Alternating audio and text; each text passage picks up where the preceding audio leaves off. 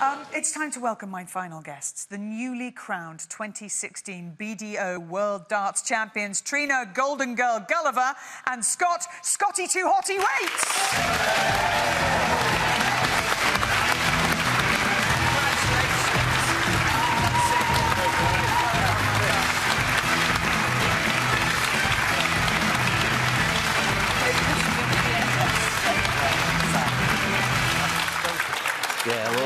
With their trophies.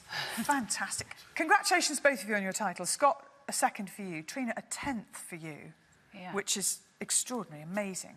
Are you guys darts? Felipe, have you ever watched darts? I don't watch, but I know what it is. Okay. That's a good start. Victor, are you. Every time we come to the UK, we watch it, and we tried so hard to get to one of the events in the World Cup, but unfortunately we couldn't. We weren't No, close enough get to one of the events. We would love. Oh, it's. I want to go dance. So, I love it. It is brilliant. It really is. And it's. Have you been, Claire? I have been, and it is mega. I'm going to take Felipe. If he hasn't been, we're going next. That's I want to okay. invite us. you can come. We can all go. There you go. That, you now have new fans. They will be there at the Lakeside next time round. Um, let's have a look at how you won your titles. And Trina, this is you checking out for a 3-2 victory against Deta Hedman. Two tops is all it requires. Do with their eyes closed in practice. Bit different now. 39 left. Double 18 with that three. This for the title. Can she take it out? She can! Sure! And do not let 60! Lakeside! Ladies, well done, champion! Trina is the champion of Rushmore! We didn't expect her to do it here, and there are tears of joy up there. The champion for a record 10th time. Amazing performance. And um, you were very emotional, weren't you? I was very emotional because I, I, I didn't think that the 10th was ever going to come because the last, my ninth was in 2011. So there's been five years where I haven't, uh, I haven't done it. And was that because your level was dropping or because the others were just becoming much better? Um, both. I mean, it's, uh, in 2012, my mum was my biggest fan. And in 2012, um, she sadly passed away two days before I was due to play at Lakeside. Um, and we'd had this conversation, conversation with my mum, and she said, wherever I am at that point in time, you must go. You must go and defend your title. And, uh, and she says, and the rest of the family have got to go as well. So, which I honoured that, but it's, it's been difficult years um, ever since then, really. You know, so, but the, the standard of the ladies is, is higher as well. And was that then part of the emotion in winning that you're yeah. thinking of your mum, obviously? Yeah. Oh, Yeah. Um, Scott. Don't start me off. No, I know. That's what I'm. Got to go to Scott. Help you out. Um, Scott, your final, actually, in many ways, was the easiest one of the lot because you had some really tough battles to get there. But come the final, um, you beat the Canadian Jeff Smith 7 1. Let's just have a look. He struggled with shoulder trouble. He's back to full fitness. He's back to his best. And he is world champion once again. Scott Waites wins a one-sided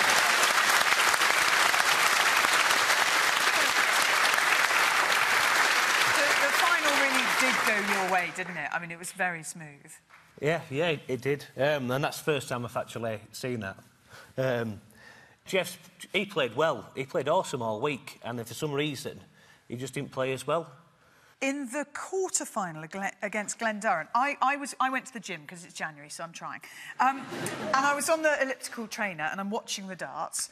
And uh, I'm watching you, and you're, you're down and out. And then you start coming back. And of course, like 40 minutes later, I'm still there doing this, thinking, I can't give this up. But it was an amazing match, that. I really enjoyed watching it. And the crowd were massively behind you. I've never ever heard the crowd so loud.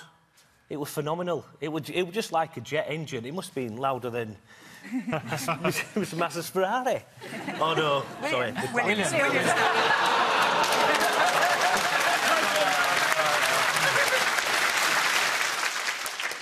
And when you were winning your first world titles, the TV coverage sort of didn't really pay any attention to the women's game. They might show a little bit of your final, and there she is again, Trina Gulliver winning again. So you never got a sense of your of your progress. And sometimes the crowd wouldn't all stay. Now everybody's locked in. Yeah. I mean, they're not literally locked in; they're mentally locked in. No, they are locked in. no, um, the atmosphere is great, like I said, and they do stay, and we are getting more media attention uh, with the ladies and that, so which is great. You know, that's a real big step forward.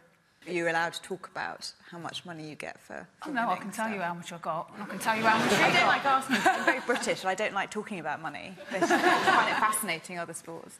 Well, um, Scott got £100,000, I got 12. So, And Yeah. and 12 is an improvement. on- 12 is an impro- big improvement from what it used to be. You know, it's going up, but it's still not in the same percent. We're not asking for the same. We're asking for something relevant. In, you know, there's 40 men that take part and there's 16 ladies, so percentage is out. I, I don't think he's I disagreeing don't think with it's you your fault. necessarily. and you are now full-time darts player, aren't you? I am, but I also keep my hand in with the carpentry, so yeah.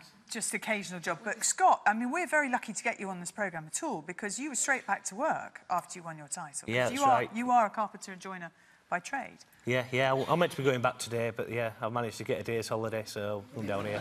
Well, We had Eddie the Eagle on the show just, just a couple of weeks ago, and um, he was talking about he's a plasterer. And, and I said to him, when, when you turn up for a job, do people know it's going to be you? And he said, well, some of them do, some of them don't, and some of them I leave and they're none the wiser. Do, do you, people know it's you? Oh, yeah, definitely, yeah. Um, in my van, I carry a load of um, pictures, so I'm forever signing autographs for uh, all the houses we go in. What, whether they want it or not? Yeah. It's all right, I'll keep the kids away from the fire. Uh, now, Claire, you've grown up around cars, but there is one aspect of driving that you struggle with, isn't there? Yeah, I can't reverse. I, I really can't, and I can't parallel park. I'm really good at driving in a straight line. Um, but yeah, so my boyfriend tends to drive, so when we're at home. But thank you for sharing. That's okay. Do you let your wife drive? No. No. You don't? What, never? Yeah, yeah, she drives, for sure. She drives. Yeah, sometimes, but uh, But not if you're in the car. but uh, she always complains because uh, sometimes she stop and then the the, the traffic uh, light goes green and then she's stopping and then I say go. And then, and then she goes, and then we stop again, and then she's already thinking about I don't know what, and then I say go. and then so we always, you know, You're And- so and lucky she she's never going to see this program. One thing I will say to you is do, do not drive with Felipe. Uh, have, I, have we been in a car together before? We probably have. Being in a, a car with a racing driver is always quite a weird experience because, you know, legs out of windows with bricks on gas pedals and, you know, phenomenal, brilliant stuff. Well, you were doing that. No, I wasn't doing it. One of our old drivers. Yeah, and it was my, my little brother's christening and his godfather, who was an old Williams driver. And I went in the car in the church and um, we were following mum and dad in front and the driver was totally loony. Decided, and I don't know how to this day he did it, but he put a brick on the accelerator and put his legs out the window and then decided to overtake my parents while I'm in the car going, hi, mum and dad, thinking the whole thing was wonderful. So, yeah, racing drivers are a little bonkers. no, no, no, Yeah. You wouldn't do that, would you? never. Are you a good driver? I'm all right. I'm better than my wife. Now, the trouble is, your wife, who I presume has moved over here with you, is, is going to see this, I Maybe. suspect. Yeah. Are you sure you don't want to say something else? She's a lovely girl. Scott, who do you like to have there to support you? Who's the face you're looking for in the crowd when they're all shouting? Well, my girlfriend comes round. She's really supportive of me. And um, my old man comes down as well. You'll always see him because he'll be one one wearing the silliest shirt possible. I've won three finals, three majors, with him wearing his Mickey Mouse shirt. But he doesn't have like a plonker in it. Trina, who's there for you? My wife, uh, Sue, And she's a darts player as well, isn't she? she is, yeah. She's a good player in her own right. She's not professional, but she comes on tour a lot with me and plays in a lot of the competitions. So, So, do you play against each other? We have done, yeah. Yeah. How does that go? She has beat me on a couple of occasions. Just the twice. How many times have you played? Oh, hundreds. Well, that's it. We've reached the end of the show, but make sure you come back because next time I'll be joined by snooker legend Jimmy White, daring downhill mountain bike racers Rachel and Gee Atherton, and top rugby referee Nigel Owens. Many thanks, though, to my stellar studio guests, to Claire Williams, Felipe Massa, Rachel